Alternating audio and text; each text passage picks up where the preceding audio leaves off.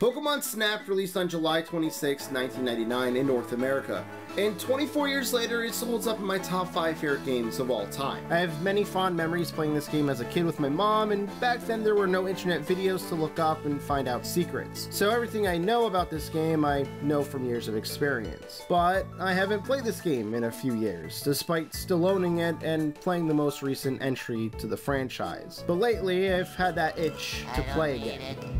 I don't need it. I definitely don't need it. So today we're going to scratch that itch, but put my memory and skill to the test because we're going to make it a little bit more interesting as we're going to try and Nuzlocke this game. Now, similar to the rules of a normal mainline series game's Nuzlocke, we can only capture a Pokemon once. Except, you know, we're not doing it in a Pokeball, we're capturing it on film. But that being said, sometimes you gotta throw a few Pokeballs to get the Pokemon. So it's not a one-off, take a picture, can't take another picture. We can take multiple pictures of that Pokemon, but because I took a picture of that Pokemon, we then are forced to submit one of those pictures.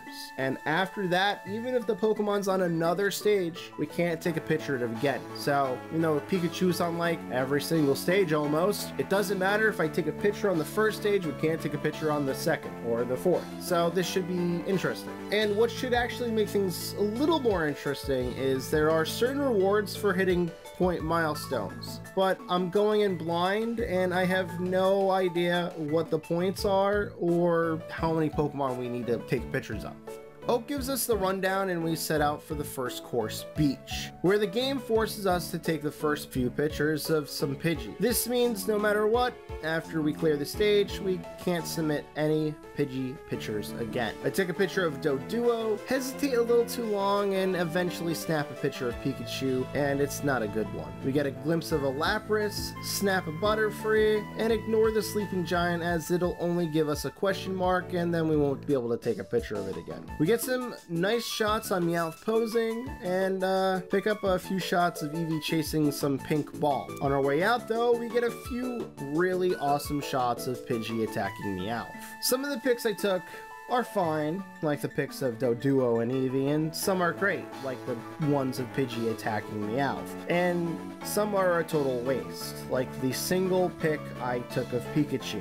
Yeah, we could have had so many better ones down the road. But I wasn't sure how many points or species I would need to unlock the second stage, and as of writing this script, it looks like it was six. And we had seven, so we could have left Pikachu for later. Now I should probably give you the rundown on how the points work in this game. There's a system in place with some multipliers, and your score is based on size, which is basically how big the Pokemon is presented in the film. Pose, it would be anything from like the Pokemon dancing or showing some sort of emotion or maybe attacking something. Technique, which is essentially the best multiplier, it just doubles your score outright. It's what you want, and it's for having the Pokemon dead in the center of the picture. But there's also a few hidden ones, like Special, which is essentially just pose, but are special hidden poses, like, for example, Surfing Pikachu. And last, you have Same Pokemon, which is obviously you have a couple of the same exact Pokemon in the picture. And that all being said, we do alright on our first go on the beach and we're just under 7,000 points needed to unlock the apple, but I don't think we could have unlocked it on stage 1 anyway. And our top picture was actually Pidgey, and I'm not surprised by that, but I am surprised, however, about my Lapras picture only getting 150 points, who is clearly centered, and there are clearly two Lapras in frame. But with the six species collected, we unlock Tunnel. When we start up this stage, we're immediately greeted by Electrode, who explodes and should get us some good points. This explosion actually causes Kakunas to fall from the ceiling. We get a quick shot of Zubat, some Mystery Ball, and start taking pictures of Diglett, who every time we snap spawns more until a Dugtrio appears. There's a few more Mons on this level, but we're just gonna leave for now. Electrode nabs us a solid score, and like Lapras, I'm cheated out of some points with Kakuna. The Mystery Orb turns out to be a Haunter, and we end the stage with 13 encounters and 28,000 points, which now unlocks apples for us. We then head back to the beach so we can grab a few more Mons. First up is Magikarp that spawns by throwing apples in the water.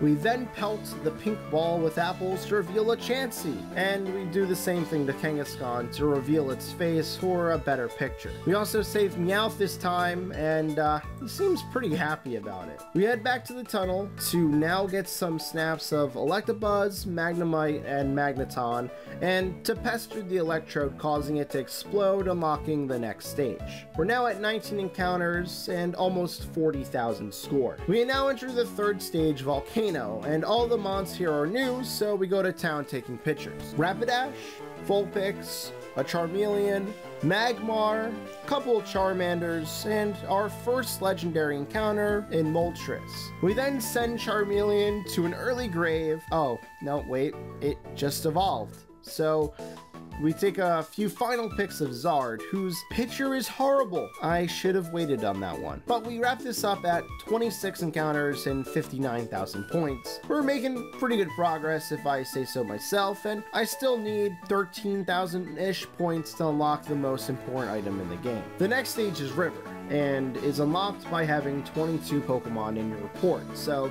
we're good to go. This is probably one of my favorite stages in the game, and to a rookie player, has a lot of really cool things to discover. I load in and start throwing apples at pretty much everything, and we get some good shots of Bulbasaur, Poliwag, Slowpoke fishing, and evolving into Slowbro. By the way, for the longest time as a kid, I genuinely thought this is how Slowpoke evolved. Like, I left my Slowpoke and Shellder in the daycare for weeks trying to trigger this this right here, this lie. Anyway, we wrap up the stage, and Psyduck and Shellder are our final encounters, bringing us up to 32 and 71,310 points. We're legit 1,190 points short of what we need. At this point, there are two Mons left we can get a picture of, and I load back in. I bait out the Cloyster, and thankfully, we have enough points with just that to unlock the Pester Ball, literally the most important item for this game. I now go back to some of the older stages and pick up a Scyther, Growlithe and Arcanine, Metapod,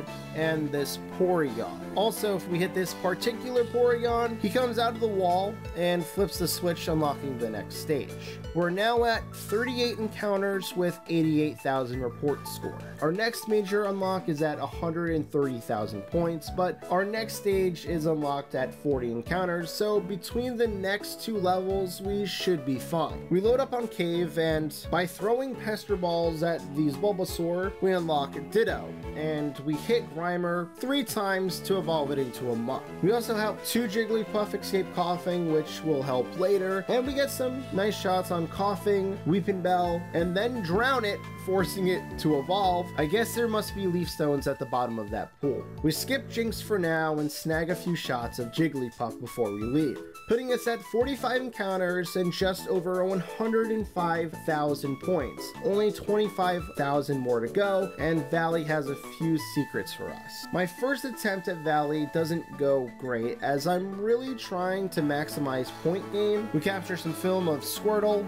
Mankey, Geodude, Sandshrew, and Graveler, Sandslash, Staryu, Starmie, and one very god-awful shot of Dratini that, because of the rules, I'm forced to use. Hopefully this doesn't mess anything up for us. There's a few mons left in the game, so we should be fine if we do have a few mess-ups like Dratini again. Thankfully though, most of my pictures are centered well enough to get a solid showing point-wise. And we're now at 122,000 report score. We give Valley another go and have Mankey fling Magikarp, which we then pester up waterfall, causing it to evolve into Gyarados. I then pester the Whirlpool, revealing a Dragonite that was hiding in it. And we fling Mankey into a button, opening up not a new level, but a new spot and new challenges for us. Professor Oak would now like us to go take pictures of random phenomena that resemble Pokemon. Once we have all six, we can then get into the final stage, but we're going to need the last item first, the Pokeflute. We submit the two photos and they both get 4,000 points apiece, meaning we've unlocked the Pokeflute. Now keep in mind all of this info is me looking up stuff currently while writing a script. So this was really lucky, like insanely lucky to have just enough points to unlock the last item we need. However, I do believe there's a weird glitch here and you can't receive two items. Um, because we just received the ability to speed up and we should be getting the Pokeflute, but we don't. I go back to the beach, getting a picture of rocks that look like a Kingler, and then load back in immediately after with the Pokeflute and get a picture of a dancing Snorlax. We head back to the tunnel and get pictures of Zapdos and a shadow that resembles a Pinsir.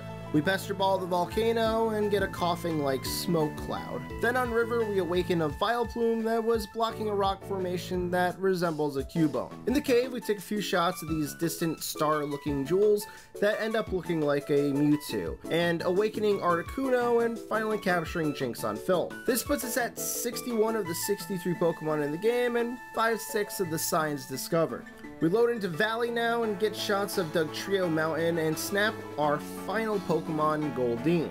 With all the signs being photographed, we now unlock the final stage, Rainbow Cloud. Though there's not much to this stage, it's probably the nicest looking level in the entire game, and it has some of the best music to boot.